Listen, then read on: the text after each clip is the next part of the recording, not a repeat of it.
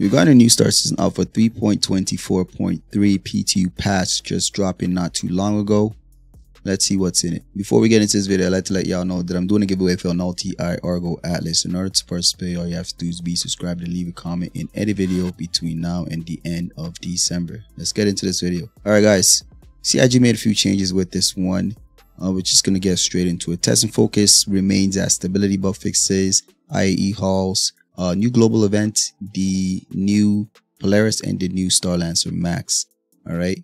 Um, they made a few changes pertaining to features and gameplay under the ships and vehicles category. They did a performance lighting VFX and art polish pass for both the Polaris and the Starlancer Max. All right. There's a few bug fixes for this one. They fixed an issue where the Polaris torpedoes do not restock. That's a big one.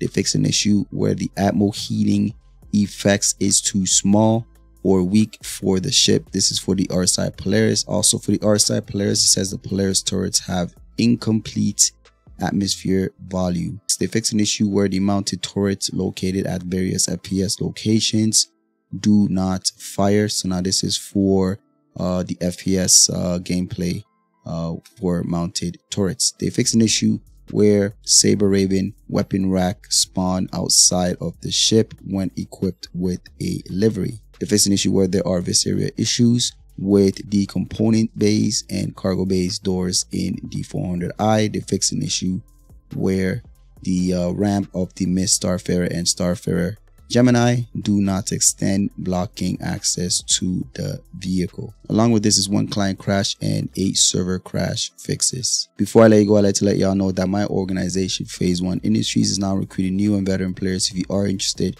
you can find our Discord in the description down below. Don't forget to leave a like, subscribe. I'll catch you guys on the next one.